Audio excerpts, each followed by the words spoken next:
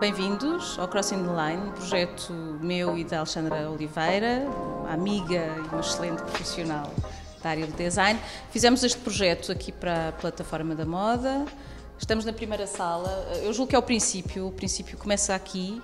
Cada sala somos as duas eh, e criamos quatro ambientes com duas tecnologias muito diferentes. A Alexandra trabalhando dentro da sua área do têxtil e das redes e de, e, e de experiências com o próprio fazer do material, que é muito interessante. E eu estava a fazer cerâmica na altura, a trabalhar com grês vidrado e quis fazer umas escalas, fazer alguns, alguns trabalhos com escalas e com grês e da vontade de promoverem o encontro entre as áreas de criação de cada uma, Sofia e Alexandra produziram a quatro mãos as obras que estão agora patentes ao público em quatro diferentes espaços e ambiências que refletem um diálogo entre a arte e a moda. Cada ambiente eu acho que cria um tempo diferente e julgo que a mensagem é muito simples, quer dizer, eu acho que se percebe o espaço foi trabalhado e, e concebido, cada espaço tem uma autonomia. Nós olhamos para aqui pronto, somos, é, é, é, é, a delicadeza com, misturada com uma certa dureza, não sei. Uh, somos nós.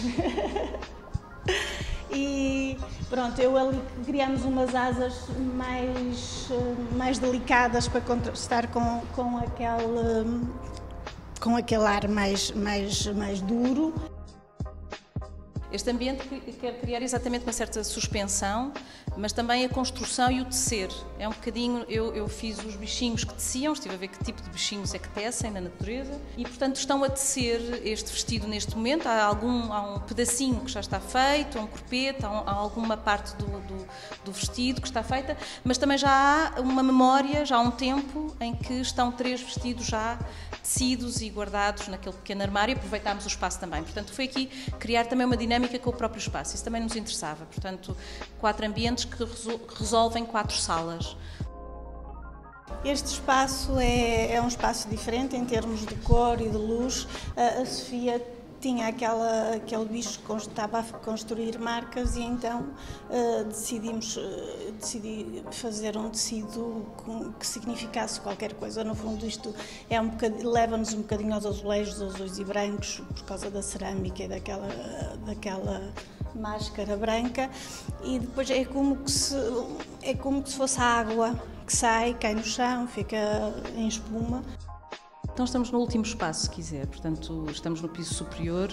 Nós quisemos criar alguma expectativa e trouxemos este espaço que é uma sala escura, eh, até para que as pessoas quando subissem tivessem uma espécie de recompensa. Portanto é talvez a sala mais surpreendente. Eh, a luz sai, do, a luz sai dentro da cerâmica mais uma vez as experiências e a suspensão. Portanto, quisemos mais uma vez o Crossing the Line está presente, eu julgo que está em todas as salas. Foi um título que, que achámos que fazia sentido para as duas. Uh, cruzámos muita coisa, nós temos muita coisa em comum, apesar de nos termos conhecido há uns anos só. Mas há, eu, pelo menos da minha parte, é isso que eu sinto. E, e, trabalhámos muito com linhas e, e, portanto, fomos cozendo e atravessando algumas linhas e alguns limites, os nossos próprios. Portanto, eu acho que nos desafiámos aqui também a, a fazer algo que não sabíamos, achámos que ia resultar, não é? Mas isso foi, foi, foi giro. O resultado de vários meses de trabalho está agora patente ao público. Trata-se mais um evento da plataforma Moda da Capital da Cultura e que pode ser visitado até 15 de dezembro no espaço Pavico, em Guimarães.